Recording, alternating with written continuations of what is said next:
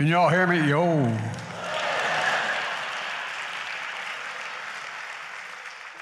I've spoken before parliaments, kings, queens, leaders of the world. I've been doing this for a long time, but this is intimidating following. Y'all are incredible.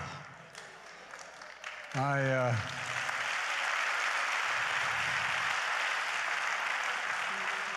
and let's lay one thing to rest. I may be a practicing Catholic. We used to go to 7:30 Mass every morning in high school and then in college before I went to the black church.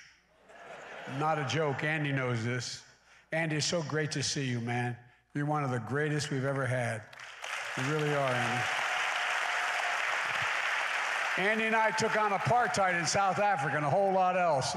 They didn't want to see him coming. But uh, we used to, uh, that's where we'd organize to march to segregate the city. My state was like yours, segregated by law. We were a slave state to our great shame. And uh, we had a lot of leftovers of the bad things come from that t- period of time. But uh, I, uh, anyway, that's another time. But I learned a lot. And I promise if any preacher preached to me back then, I'm not going to be nearly as long as you were.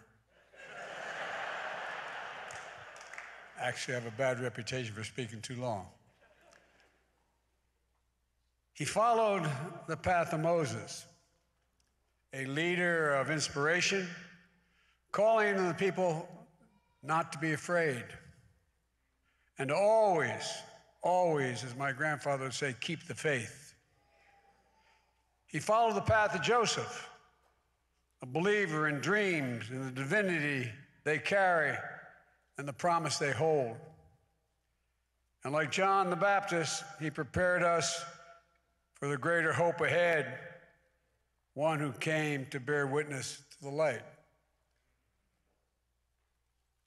Reverend Dr. Martin Luther King Jr. was a nonviolent warrior for justice who followed the word and the way of his Lord and his Savior.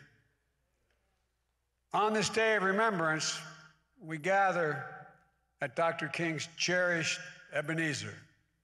I say, emphasize the word cherished, Ebenezer.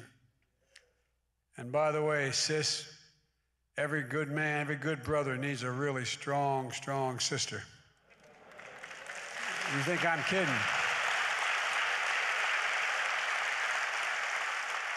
I'm no Dr. King, and my sister's not you, but I tell you what, she's smarter, better looking, and better person than I am.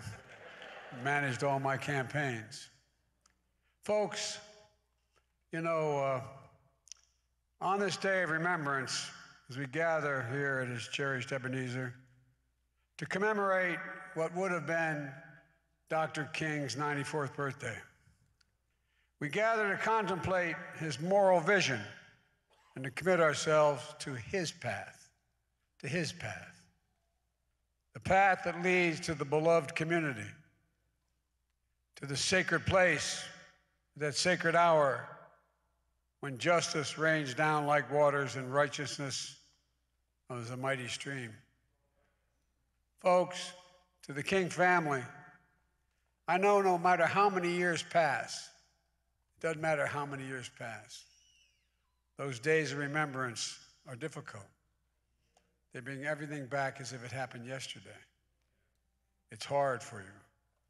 I don't want to thank the King family presumptuous of me to do this, but on behalf of the whole congregation, for being willing to do this year in and year out, because you give so much, so much to the rest of us. And we love you all. We love you all.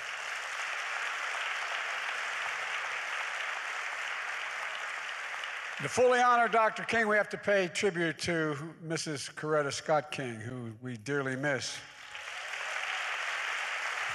She led the movement to create it, the King holiday, and so much more. In my view, this is her day as well.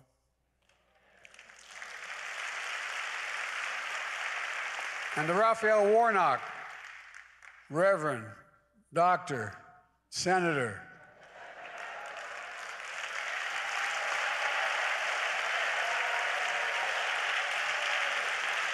Congratulations on your historic victory.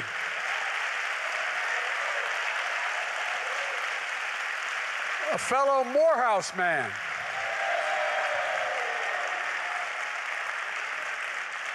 I've come to know a lot of Morehouse men.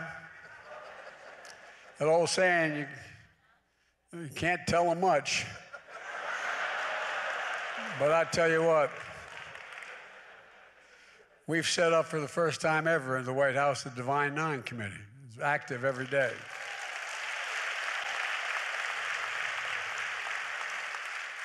And I watch how the other graduates pick on the Morehouse man. You stand in Dr. King's pulpit and you carry on his purpose. And this service doesn't stop at the church door. It didn't with Dr. King, it doesn't with you, and it doesn't with the vast majority of you standing sitting before me. I want to thank you for the honor of inviting me to be called to America's America's Freedom Church. And thank you to this congregation and to all the distinguished guests, elected and unelected officials that are here today, who've done so much over so many years, and so many young people are going to do so much more than we were ever able to do. What's your name, honey? Well, It's good to see you. Maybe I can have a picture with you I, before I leave, okay? Is that all right?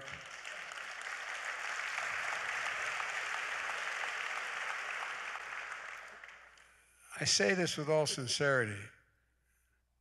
I stand here humbled, being the first sitting president of the United States to have an opportunity to speak at Ebenezer Sunday service.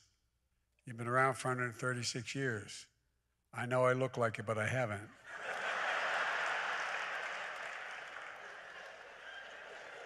I'm God fearing thanks to my parents and to the nuns and priests who taught me in school, but I, I am no preacher.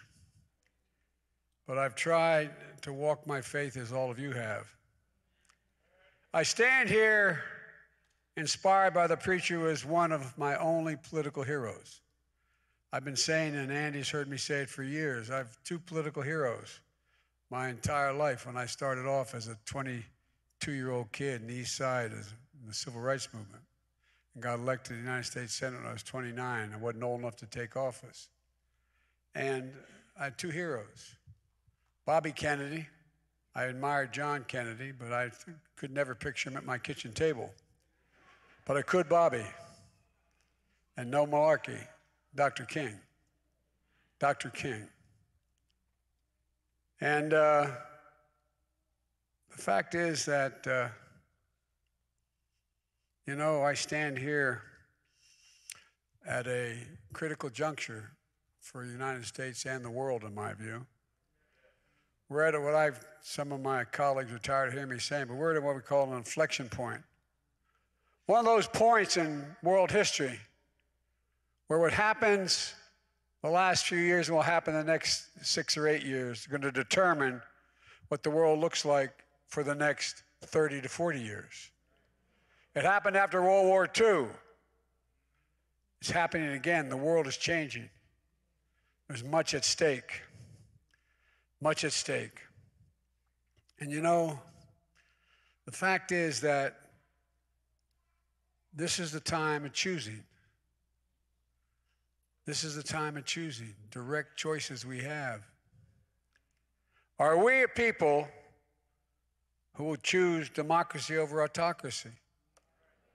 Couldn't ask that question 15 years ago. Everyone thought democracy was settled, not for African Americans. But democracy as an institutional structure was settled. But it's not. It's not. We have to choose a community over chaos. Are we the people are going to choose love over hate? These are the vital questions of our time and the reason why I'm here as your president. I believe Dr. King's life and legacy show us the way and we should pay attention. I really do. Dr. Martin Luther King was born in a nation where segregation was a tragic fact of life. He had every reason to believe, as others of his generation did, that history had already been written that the division would be America's destiny. But he rejected that outcome. He heard Micah's command to do justice, love mercy, and walk humbly. And so often, when people hear about Dr. King, people think of his ministry and the movement were most about the epic struggle for civil rights and voting rights. But we do well to remember that his mission was something even deeper. It was spiritual, it was moral. The goal of the Southern Christian Leadership Conference, which Dr. King led, stated it clearly and boldly, and it must be repeated again now to redeem the soul of America. I'm not joking. To redeem the soul of America. What, what is the soul of America? Easy to say, but what is the soul of America? Well, the soul is the breath, the life, the essence of who we are. The soul makes us us. The soul of America is embodied in the sacred proposition that we're all created equal in the image of God. That was the sacred proposition for which, for which Dr. King gave his life. It's a sacred proposition rooted in Scripture and enshrined in the Declaration of Independence. A sacred proposition he invoked on that day in 1963 when he told my generation about his dream. A dream in which we're all entitled to be treated with my father's favorite word dignity and respect. A dream in which we all deserve liberty and justice. And it's still the task of our time to make that dream a reality because it's not there yet.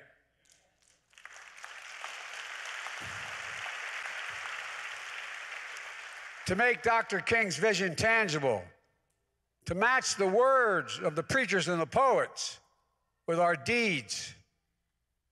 As the Bible teaches us, we must be doers of the word doers of the word.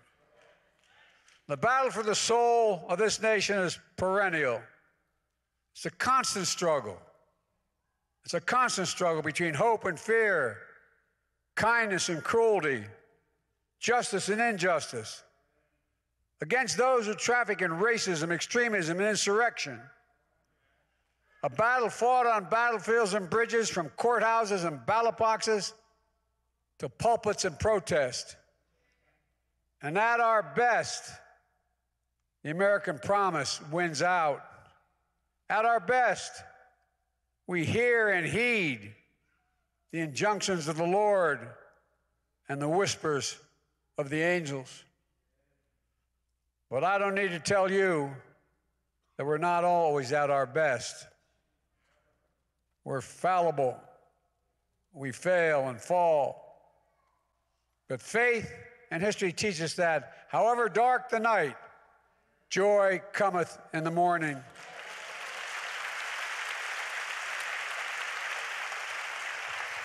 And that joy comes with the commandments of Scripture. Love the Lord thy God with all thy heart, all thy mind, and all thy soul, and love thy neighbor as thyself. Easy to say, Easy to say, but very hard to do. But in that commandment, in my view, lies the essence of the gospel and the essence of the American promise. It's when we see each other as neighbors and not enemies that progress and justice come. It's when we see each other as fellow human beings, as children of God, that we begin to walk the path of Dr. King's beloved community. A path his dream inspired and his legacy propel us forward to this day. Here's what I learned in my life and my career along that path, as many of you have learned along your path. We're all imperfect beings. We don't know where and what fate will deliver to us and when. But we do, we can do our best to seek a life of light and hope and love and, yes, truth. Truth. That's what I try to do every day to build the future that we all want. Or reminding ourselves that nothing, nothing is guaranteed in our democracy. Nothing. Every generation is required to keep it, defend it, protect it, to be repairs of the breach. And to remember that the power to redeem the soul of America lies where it always has lie, lay, in the hands of we the people. We the people.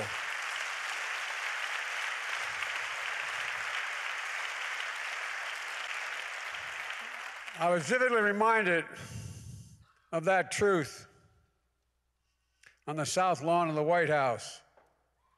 I believe you were there, both of you, both your senators. On the south lawn of the White House with our Vice President Kamala Harris, and hearing these words, and I quote It took just one generation from segregation to the Supreme Court of the United States, end of quote. Those are the words of Kajan, Kajan, Ketanji Brown Jackson, our Supreme Court Justice. Took just one generation from segregation to the Supreme Court of the United States. As I told folks at the time, she's smarter than you are. As Dr. King said, give us the ballot and we will place judges on the bench who will do justly. And we are. That's the promise of America, where change is hard but necessary. Excuse me. Progress is never easy, but it's always possible. And the things do get better on our march toward a more perfect union. But at this inflection point, we know there's a lot of work that has to continue on economic justice, civil rights, voting rights. I'm protecting our democracy. And I'm remembering that our job is to redeem the soul of America. Look,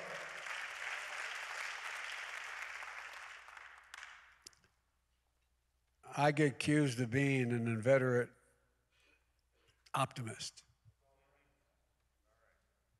I call that the Irish of it. We're never on top, always stepped on, but we are optimistic. Like Dr. King was optimistic. Folks, uh, as I said, progress is never easy. But redeeming the soul of the country is absolutely essential. I doubt whether any of us would have thought, even in Dr. King's time, that the, literally the institutional structures of this country might collapse. Like we're seeing in Brazil, we're seeing in other parts of the world. Folks, I'll close with this, with a blessing I see today. In the Oval Office, and many of you have been there, been there in my office. You get to set it up the way you want within reason. As I sit at my desk,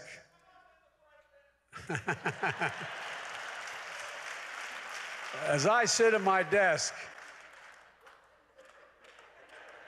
and look at the fireplace, just to the left is the bust of Dr. King. It's there in that spot on purpose.